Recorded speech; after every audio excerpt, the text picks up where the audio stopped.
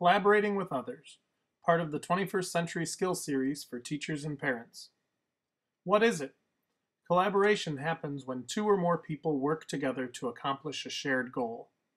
Good communication skills help children develop self-confidence, a good sense of self-worth, and better relationships with everyone around them. Uh, they ask for help, ask for help, um, and I usually uh, look online, help them with, um, for like whatever situation, like if they need help working on the computer, like finding out how to do give VoiceThread on Weebly. In traditional classrooms, the teacher is the information giver. Knowledge flows only one way, from the teacher to the students. But in a 21st century classroom, the teacher is one member of the class who has information to give, but so do all the other children. Information can be accessed by the children through many avenues, including research, through their global network, or through experimentation. Teachers spend less class time lecturing and more of their time answering questions and assessing, preventing problems, and meeting the needs of each student. Students spend less time being bored or misbehaving, and they spend more time developing interpersonal skills while completing challenging activities. A strong classroom community is developed thanks to collaborative activities. Boys and girls work side by side with no discomfort. Weaker students discover areas of strength and become experts for others to come to, while stronger students experience some challenges that require them to go to others in class for help. Self-esteem and personal pride is evened out in a collaborative classroom. Mixed ability or randomly assigned groups dominate the collaborative classroom because traditional skills take a back seat to 21st century skills when working together as a team to solve problems and investigate topics. Collaboration has several pros and cons. Here are some that I've listed. First, some pros are that more minds are better than one. Everyone learns from each other through the process. Collaboration gets everyone to interact with each other students become more reliant on each other instead of the teacher, and therefore causes the student's confidence to grow. You don't really want to do it by yourself. Mm -hmm. I like to do it with uh, like other people, so you have more help, and they can look up stuff, so you can, they can give you information. You can just write it down on a poster or something. A few cons are that there are lots of opportunities for children to become stressed. There are disagreements, someone not doing their fair share, and someone being bossy can cause children stress. Therefore, leadership and interpersonal skills must be practiced in order to achieve success in collaboration. There's also less individual accountability in collaborative activities. Some students might get away with doing less work than others. One final con about collaboration is that some introverts and shy students might be uncomfortable working together as a group. I recommend the TED Talk by Susan Cain on introverts. In that TED Talk, she makes strong arguments uh, against collaboration.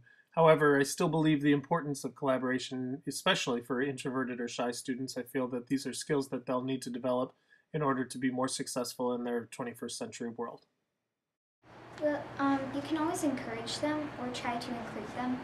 Um, that can always sometimes get them engaged in an activity, but sometimes that just doesn't work and they don't want to do it. There are many skills that we work on in our classroom that help students become better members of a team.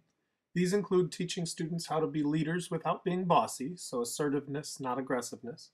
And on the flip side, some students are natural leaders and need more help letting go and letting others take the lead, so I teach some passivity. In Arbor Day towards the end is when I started letting other people become the leader.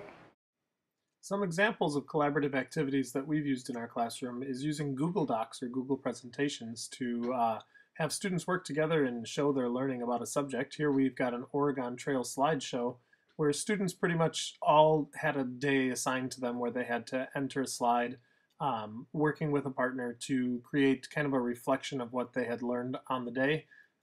Since Google Docs and Google Presentations can be accessed by all the students in the classroom, students did go back and look, find out what other people created for slides, and they learned from each other doing that. Another activity that we use collaboration for were uh, our blog for our Oregon Trail simulation. Uh, every day that we had an activity, students would write a blog entry and others could read it and respond. We also had another blog type writing assignment where it was called the Really Unrealistic Adventures of the, our journey west, and this was kind of a fictional. Um, it didn't have to be realistic at all, and the students, as you can tell, wrote even more than the regular blog because they really got into this activity and enjoyed it an awful lot. Uh, one final activity to show you today uh, is if you go on our website to the Human Body Final Assessment and Reflection page and scroll down, you can see that uh, on the left we have our posters that we did before we studied the human body systems. Then we learned the instruction for the unit. Uh, if you notice, we have a video in the center I'll talk to you about in a minute. And on the right, we had a reflection, which was kind of what we learned from the entire unit. Uh, so back to that middle part is we did a video. We made our own poster based on these required organs for our posters. I gave them a list of organs that they needed to do, and we made a poster based on that. Uh, and then we explained where each of the organs were, and we videotaped it and put it onto YouTube. So these are now available for people to see. Um, you can see they work together as a group, three or four students together, researching where these organs belong, uh, putting them onto the poster using construction paper, labeling everything, putting things relative to the correct size, shape, and position in the body. They seem to learn a lot and enjoy the activity.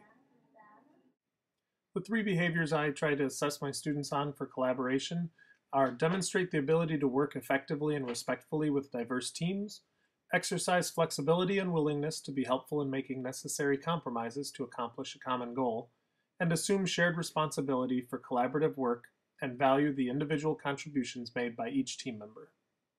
For more information on 21st Century Skills, visit the Partnership for 21st Century Skills at www.p21.org. To see more of what I'm doing with my fifth graders, visit our classroom website at psolarz.weebly.com. Check out the Educators tab, as well as the Past, Present, and Future tabs to see the projects and activities that we're doing in class. Also, feel free to email me any questions that you have to psolarz at sd25.org. Finally, be sure to check out other episodes of the 21st Century Skills series for teachers and parents available on this YouTube channel. Thank you.